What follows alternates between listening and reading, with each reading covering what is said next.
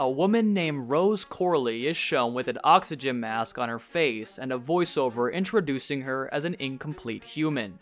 Then we are told there was an alien invasion on Earth. The alien harvested the mind of Rose's father, and she was adopted by a man who lost his son. She was an unusual human being who grew very fast. A blood transfusion helped her grow slow down. In the next 10 years, Rose led the fleet of human spaceships against the fleet of alien spaceships. The aliens were called Harvesters. The Harvesters have blue eyes, and their basic biology is to attack humans. The Harvesters were on the mother ship, Armada. After the enemy lines were broken, Rose froze before she could fire, and one of her ships got destroyed. As the Armada got ready to attack Earth, Rose had to destroy one of her own ships that got caught in the crossfire. This caused the death of thousands of humans, but she was able to destroy the Armada.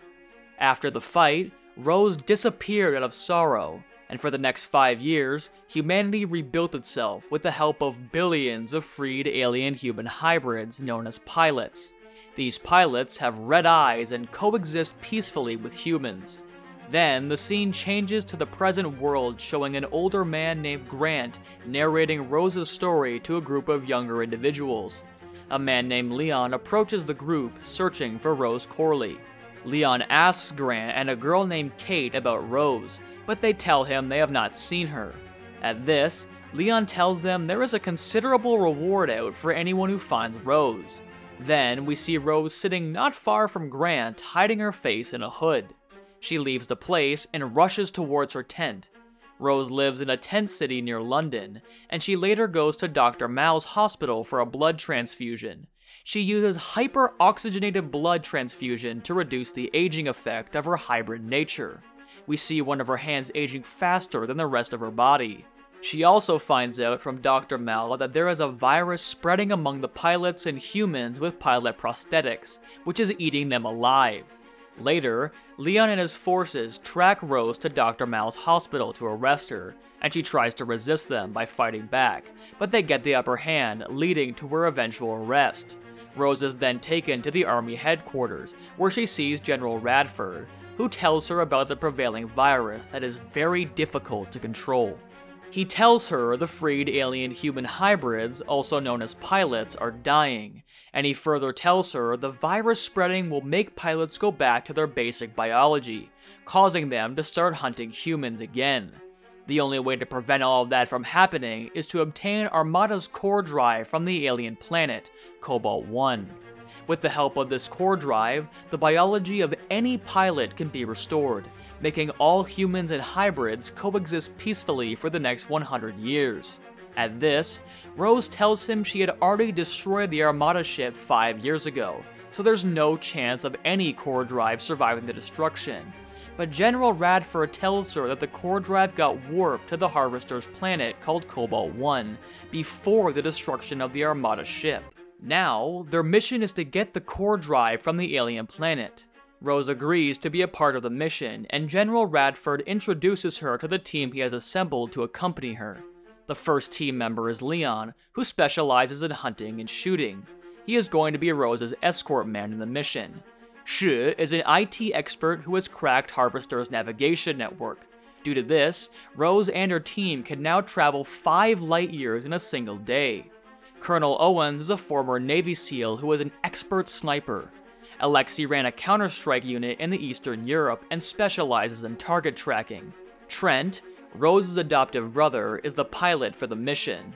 Rose is supposed to detach the core drive from Cobalt 1 as she can better understand alien technology than others. The mission starts the following day, with Rose and her team using space alien technology to travel. General Radford and another alien named Violet also accompany them on the spaceship for the mission. Their journey starts, and they reach the targeted galaxy after a day. As soon as they get there, they launch their drone to scan Cobalt 1, but they collide with some ships wandering there and have a narrow escape.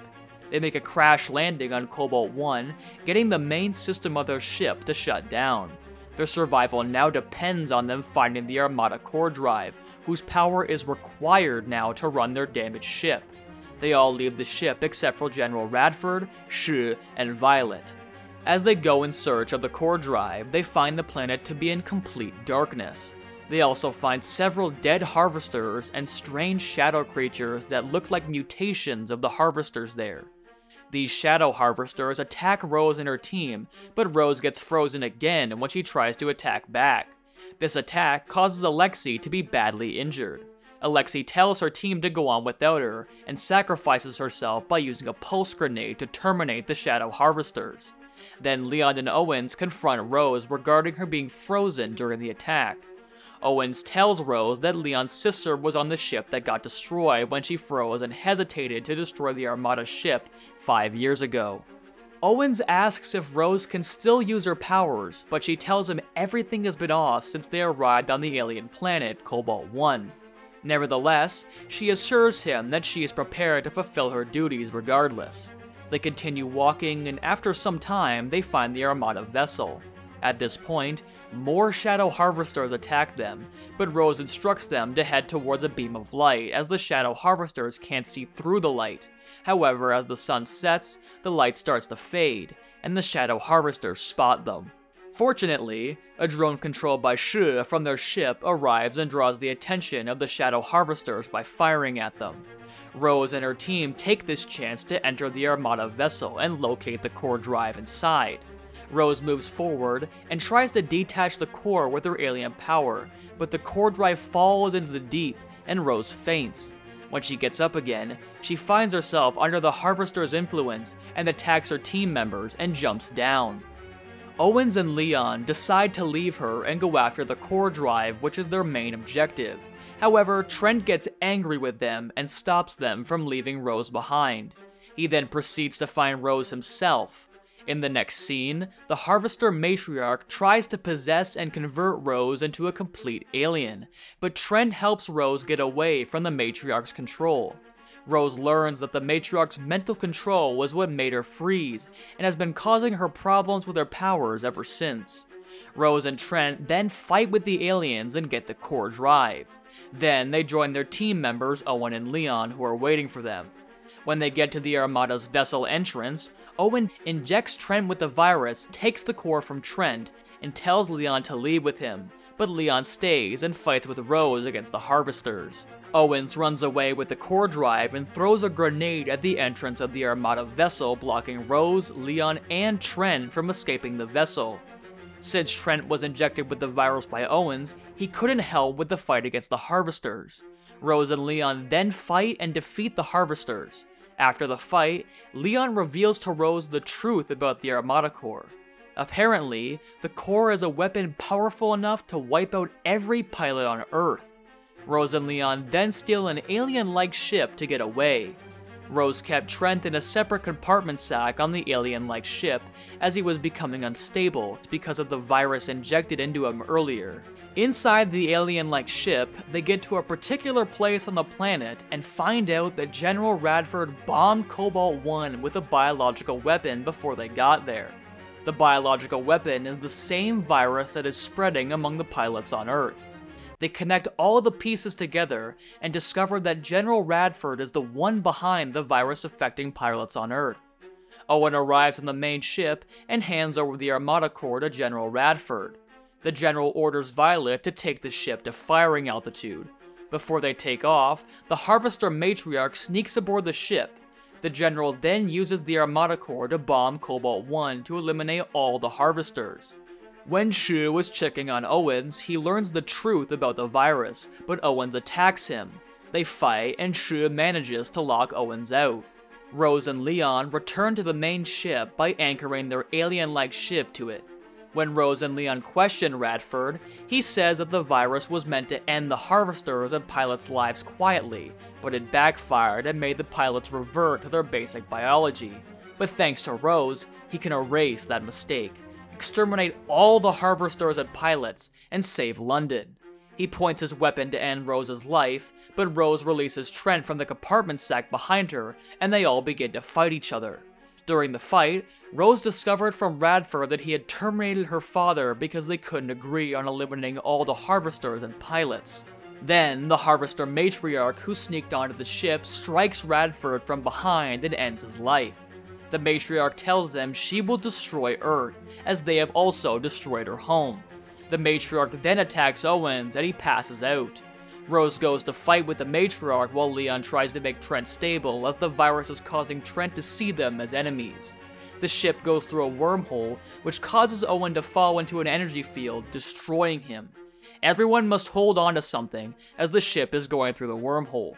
The matriarch then wraps her cords around the legs of Leon, Trent, and Rose, and to save his teammate's life, Trent, who is now back to normal, knocks down the matriarch and they both fall into the energy field. This completely disintegrates the matriarch and destroys most of Trent's body. Finally, Rose, with her teammates, are ready to return to Earth safe and sound. Back on Earth, humans are asked to leave the quarantine area zone. Dr. Mal, Kate, and Grant are still near the quarantine zone. Dr. Mal has a man named Juana with her. Juana has a pilot's hand transplant which is infected with the virus, and she's trying to make a serum that can cure the spreading virus. But time is running out due to the advancing attack in the quarantine zone. Dr. Mal asks Kate and Grant to keep watch for her until morning so she can finish her serum. In the morning, Dr. Mal and Kate are talking outside when a pilot that has reverted back to his basic biology attacks them. Grant tries to terminate the pilot, but the pilot terminates him. Dr. Mal attempts to use her serum on the pilot, but it doesn't work. Kate then opens fire on the pilot and it dies. Realizing the serum didn't cure the pilot, Kate and Dr. Mal run and hide. More pilots show up where Dr. Mal and Kate are, and while trying to run for their life, the pilots surround them.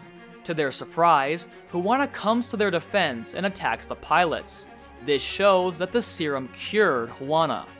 Kate and Dr. Mal run to the tent to get more ammunitions to defend themselves, and they come out and start to open fire on the pilots, with Juana also helping in the fight. As they're fighting, they see an army of pilots coming to attack them, but Rose returns just in time and takes all the pilots aboard her ship. She then tells Dr. Mal that with her serum and her ship, they can now cure all of the sick pilots around the world. Three weeks later, Dr. Mal saves Trent by putting his head into a new pilot body. Shu gets into Radford's personal files and finds the site of a prison where Radford held people he thought were enemies of the state like Mark Corley, who is Rose and Trent's long-lost father. Rose sets a course for the prison because she wants to free her adoptive father, and here the movie ends. And that'll be all for today's recap. Hope you enjoyed it. Don't forget to like the video and subscribe to our channel, and thanks for watching.